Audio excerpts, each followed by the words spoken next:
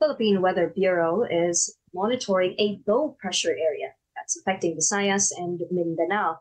Let's learn more from our Pagasa weather forecaster, Rhea Torres, who joins us now on the line. Good morning, Rhea. Go ahead. Yes, good morning to you as well, Ms. Nikki, as well as to our viewers. As of the moment, we are currently monitoring a low pressure area currently located outside our Philippine area of responsibility. It has a low likelihood of developing into a tropical depression. However, its trough or its extension will be bringing cloudy skies with scattered rain showers and thunderstorms over Palawan, Visayas, and Mindanao. Meanwhile, northeast monsoon will continue to be affecting large parts of Luzon. Therefore, for the eastern section of Luzon, particularly over Cagayan Valley, Ilocos Norte, Apayao, Abra, Kalinga, Aurora, Quezon, as well as Bicol region, will be experiencing cloudy skies with rains. Meanwhile, for Metro Manila and the rest of Luzon, partly cloudy to at times cloudy skies with light rains will be experienced.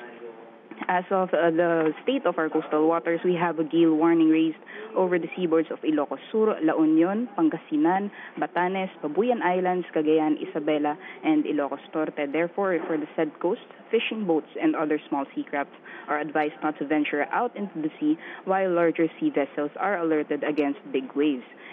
Temperatures in Metro Manila will be ranging from 20 to 31 degrees Celsius for Baguio City, 14 to 24, Legazpi City, as well as Metro Cebu, 24 to 29 degrees Celsius, and for Metro Davao, 23 to 30 degrees Celsius.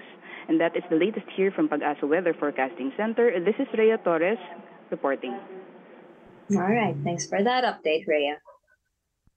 Let's now find out what other stories our North America Bureau is pursuing right now with our correspondent, Henni Espinosa. Good morning, guys. Here are the latest stories making headlines in the Filipino community.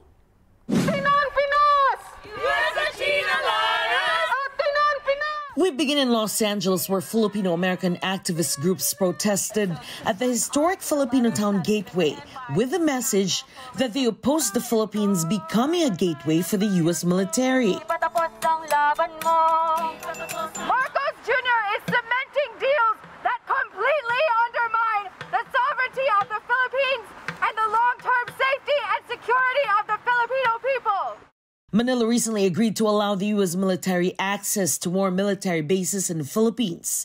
It comes amid continuing maritime tensions between the Philippines and China in the West Philippine Sea and Chinese aggression over Taiwan. Ultimately, what the Malaya movement wants is, is uh, independent foreign policy so that we're not at the beck and call of any superpower uh, or any of their geopolitical fights. One. Meanwhile, the work of Filipino Canadian artist J.A. Tan is now on display at the Philippine Consulate in Vancouver in an exhibit called Mindscapes. Tan, who is autistic, said he painted a lot during the COVID 19 lockdown to keep calm. Tan's art has been cited by several notable bodies, including the United Nations, which issued a stamp with his painting to raise awareness for autism. His painting, First Movement, won second place in the Art of Autism's Finding Your Inner Mozart in 2019. For this exhibit, the fine arts graduate from Vancouver's Emily Carr University said the painting called The Road Ahead is his favorite. It tells me after the pandemic, we want to move on and move forward. Hey, Debbie. Happy birthday, Peter. 20 years of friendship. Can you believe it? How do you still speak to me? And finally, in entertainment news, Debbie and Peter are two best friends who missed their opportunity to have a romantic relationship 20 years ago in the perfect for Valentine movie, Your Place or Mine. It stars Reese Witherspoon and Ashton Kutcher, who relish the chance to work together for the first time. They share their own experiences with second chances that changed their lives. At like 18 years old, I I, uh, I broke into my high school, and I had like a third degree burglary offense. Uh, against me, and I got a deferred judgment by the judge who didn't know me, but looked at everything else that I had done uh, and decided to not give me a felony offense. And that single decision that that individual judge made to not give me a felony, but give me a deferred judgment and give me probation, and so significantly changed the trajectory of my life. I was in a really, really bad car accident 10 years ago. And there, I should have not survived, and I did. And it felt like a second chance.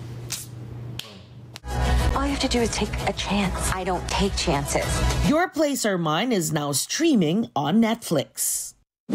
And those were the latest headlines from North America. You can catch our stories online at news.abs-cbn.com slash TFC News and on the ABS-CBN News YouTube channel.